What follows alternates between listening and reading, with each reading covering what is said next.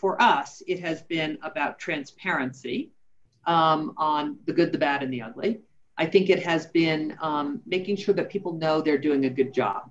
Um, I don't know how many of you are parents, but I know when I became a parent, the advice was nine parts praise, one part criticism.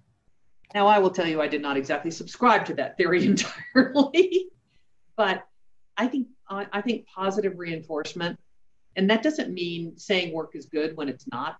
It doesn't mean saying you've done an incredible job when they haven't. But when people do amazing things or really, really good things, you just need to say, you know what, that was really good. It was a really good idea that is going to change the trajectory. You know, one of the engineers came up with a really good idea yesterday um, about, you know, what we might do in sort of the next iteration of Quibi.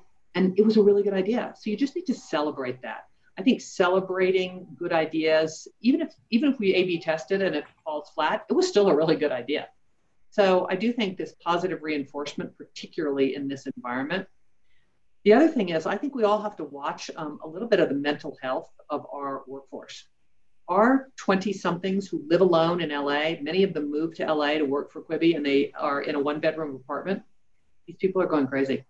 They're going crazy and we've got to figure out you know how we can do virtual events i've encouraged people if they need to go home for two months and you know hang out at their parents not that that's exactly an exciting thing for people to do but it might be better than hanging out alone in their apartment so i think you have to think of people's lives holistically right now um, because honestly if you are unhappy in your living situation or you're you know you're trying to homeschool kids while you're trying to do a startup i mean we have to sort of figure out like how we can help people in a more broad sense, particularly now.